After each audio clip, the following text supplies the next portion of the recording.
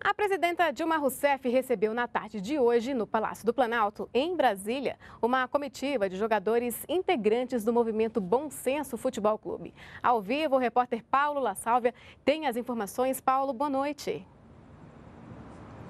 Boa noite, Aline. A reunião aqui no Palácio do Planalto teve pouco mais de uma hora de duração e envolveu 10 atletas, entre eles o goleiro Dida, que foi campeão mundial pela seleção brasileira em 2002, na Copa do Mundo disputada no Japão e na Coreia do Sul, e o meio-campo Alex, que atualmente joga pelo Coritiba na primeira divisão do Campeonato Brasileiro.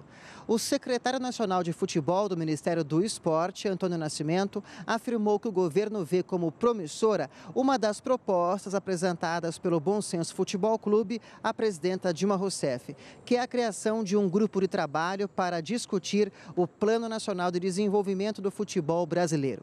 O Bom Senso Futebol Clube foi criado no ano passado e reúne mais de 1.200 jogadores no país. Entre as principais reivindicações da entidade estão férias de 30 dias para os jogadores, mudanças no calendário do futebol brasileiro e, no máximo, a disputa de sete jogos por mês por cada clube. Voltamos com você no estúdio, Aline. Tá ok, Paulo La Salve. Muito obrigada pelas suas informações ao vivo.